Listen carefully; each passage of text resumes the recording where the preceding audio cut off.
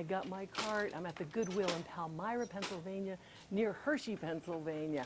Thrift with me. Let's see what I can find. Across the aisle, what do I see? Here we go. Crystal decanter, two ninety nine. Do you feel how heavy it is? Do you see the purplish tone of the crystal? Do you see the matching stopper? Ah, that's a beautiful piece. That's a beautiful piece. And I told you what these are worth. This is worth about $115. So this is a really nice piece sitting here, sitting here amongst the not so great pieces.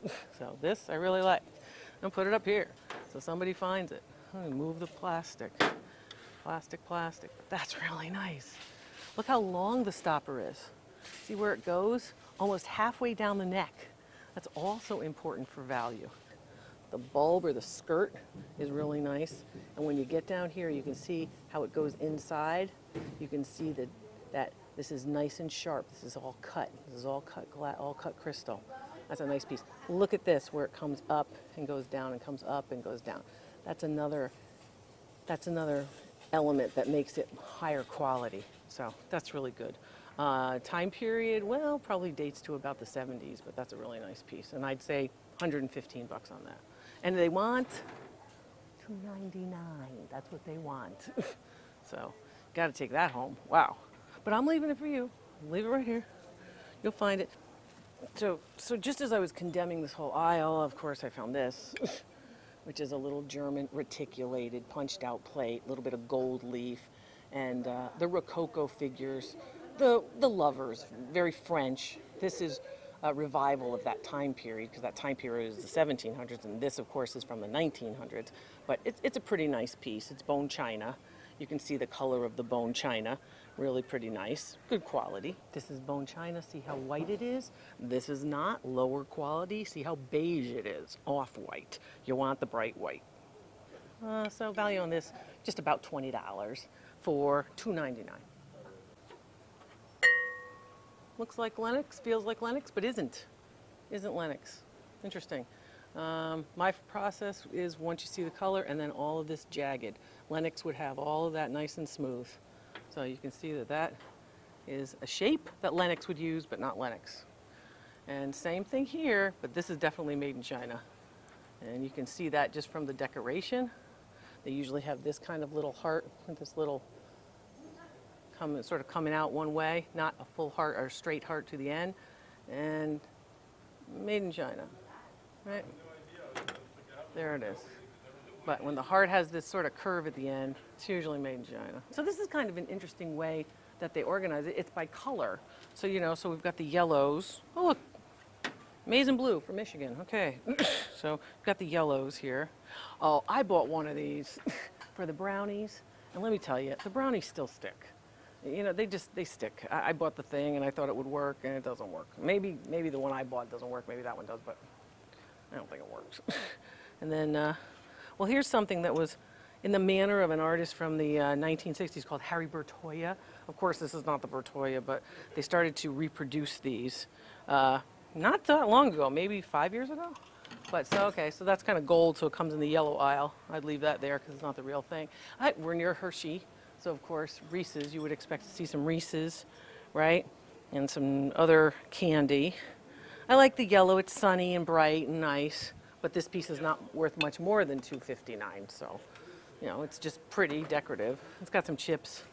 So again, I'd leave those. Remember, chips are very bad through the games here.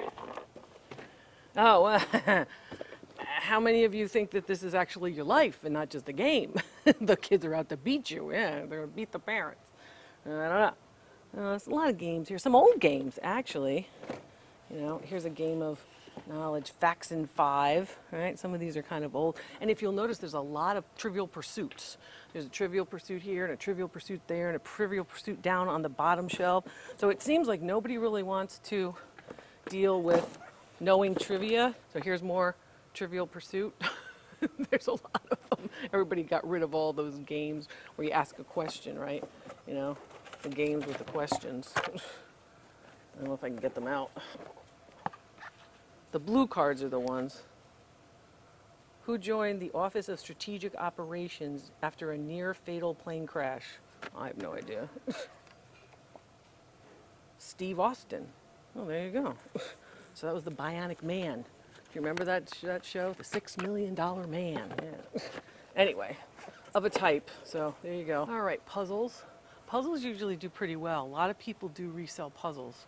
So depending on, of course, their condition and what their subject matter is. And here's another Trivial Pursuit All-Star Sports Edition. Tells you something about us. We really don't want to answer questions. All right, let's keep going. Barbie, uh, in great condition. You know, you wanted a new condition, about ten dollars. Uh, once it's open, not so much. But look for those, those. Look for the princesses. You know, look for the collectibles and look for the the well-known toys, right? So the Barbies, Kens, that kind of thing. The Powerpuff Girls and such. All right, let's keep going. So here's another themed aisle, pink and purple.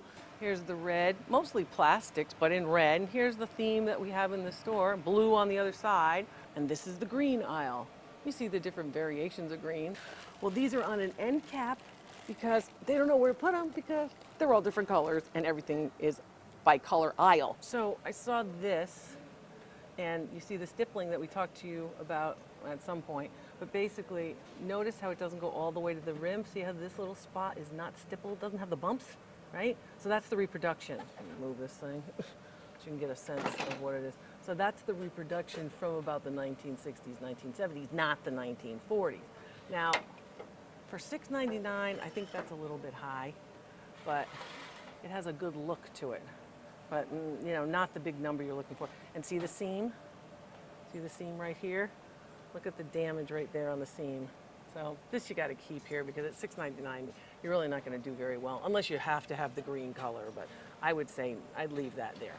However, these are not of high quality, but for $4 you're going to get the set because it's difficult to get a set of these matching good condition and such, especially at a low at a low price. So the low price has a lot to do with it too. You know, $3.99, but you've got a set. So 1950s, and you've got the two large and the small. So that's usually what you're looking for in a set like this. So I would say yes, no to quality if there's only one of them, but yes because there's a set set collection value can increase value of all the pieces a little bit. So if you have a set, buy the set. I say it all the time. The other piece I think is the stellar piece of this, of this whole area here, is this piece. This piece is 10 bucks. It's really nice. It's beautiful colors. It's big. It's heavy. It's a nice piece of blown glass. Obviously it's blown. Um, it does have some dirt on the interior. I'll show you that, which I think is easy to get clean a little bit of dirt on the interior, but a big heavy piece of blown glass. And I mean, that baby is, you know, easily 14, 14 inches tall. That's a really nice piece. I like that. So I think you can definitely get 80 bucks out of this for the color, for the type, for the size, and it's only $10. So I would definitely take that. That's a real bargain on the road. That's nice. Okay, let's keep going. Well, if you need the top to the Farberware, I have these dishes. My mother had these uh, these pans. I had these pans, and it's hard to get these tops, so without buying a whole new pan, set of pans. So those are pretty nice, actually. That's the Farberware, new Farberware lids. Uh, what else? These are plated, not this, but, wow, it's kind of heavy. But this is plated. This is nice for $2.99, but it's plated, silver plate. But I would still say that's a nice serving tray. It's not damaged, it's not scratched. It is plated, but it's a nice piece. All right, I'll put that back up there. I also like the, the, the, the size of it I like. It's not too big, it's not so big. Um, and I also like the design. Pewter, big in the 1970s. These are real pewter, and this is fake. So fake is much more silver and then the pewter is much more of a gray silver color.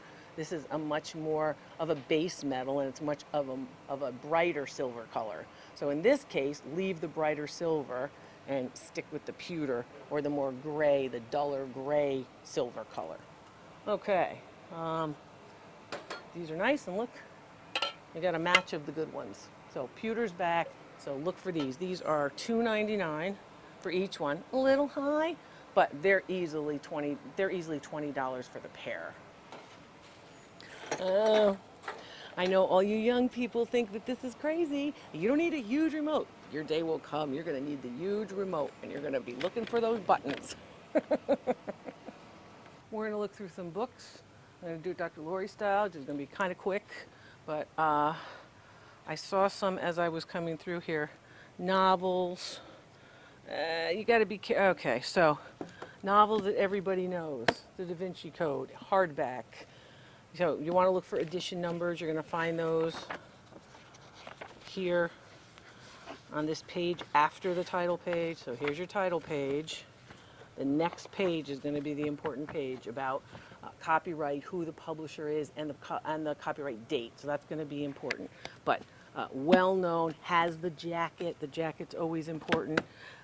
Sue Grafton novels of the alphabet. M is for murder, Q is for quarry. Some people collect all of them. So if you see one, pick it up. Uh, then you have pieces like, uh, well, you know, here's another, there's another Dan Brown. So if you got one, you might as well get two. And then we've got other ones like, let me see, what have I got? Oh, okay. Then a lot of people don't know this. A lot of people don't know this, that the art books resell very, very well. It could be uh, art of a time period like the Renaissance. It could be a major artist. Um, it could be a, a movement, you know, the pre-Raphaelite, something like that. And don't forget about architecture. Richard Pratt actually is a very, very well-known architectural historian. So I would say both of these are keepers. How much is this one? $2.99. That's a $50 book. $2.99. That's a $30 book. Um, then you've got pieces like these, the Frugal Gourmet, right? The cookbooks, which we've talked about a lot. So cookbooks like the Frugal Gourmet, very, very popular, with the original dust jacket. That looks like an early edition. It's got an early ISBN number too. So that's that one I would say. That one, Miss Manners, right? Um, some people like to read these, you know, how funny it is, what you're supposed to do. And Hints from Heloise was, of course, pre-internet, uh, before you had YouTube videos telling you how to clean your house. It was Heloise who told you about white vinegar and stuff like that. So those, and let me keep looking here. The Downton Abbey cookbook. So, I mean, I'm sorry, anybody who loves Downton Abbey is going to pay $1.99 for that. And it's in beautiful condition. It's a, the spine is nice and strong. I'd say that's a $50 book. So I got, I got, you know, 50, 100, 140, another, another 35, a little bit of damage, but cookbooks are like that. And here's the jackpot. The New Moon series, Breaking Dawn, Breaking Dawn, Stephenie Meyer, Eclipse, very, very popular um, series of hardcover books. Uh, you know, Harry Potter, Stephenie, uh, you know, um, J.K. Rowling's, Stephenie Meyer, a lot of these uh, great authors, and these are hardcover too, and they're in good shape with the dust jacket. So, 199, 299. I'm telling you, these are going to go easily, easily. You're going to get 25, 25, 25, and 30 out of those. So there's hundreds of dollars in one, two, three, four piles of books. So don't overlook books either. I had fun thrifting. My cart's empty. I left it all for you.